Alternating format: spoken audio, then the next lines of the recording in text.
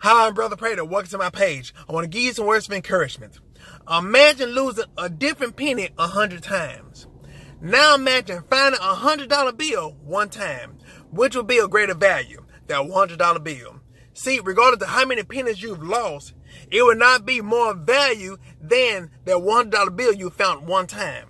So, no matter how many times you have fallen in the past, how many times you fail, you pick yourself back up because what you find will have a greater value than what you lost. Let us pray. The Heavenly Father, we coming to you right now, God. Thank you, Lord, for your awesomeness. We coming to you right now, God. We acknowledge your presence on today. God, we ask you, Lord, to help your people right now, God. No matter how many times they have failed in the past, God, give them that strength, that desire to pick themselves back up right now.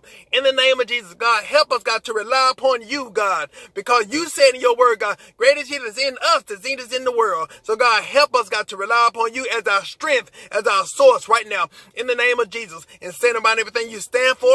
We bind every problem. We bind every confusion right now.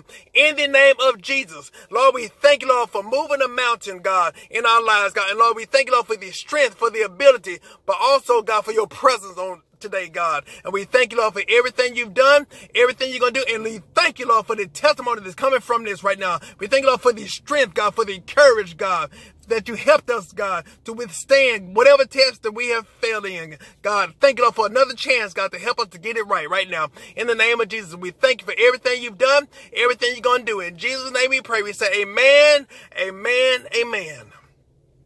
I thank you for watching this video, and I pray that it ministers to you.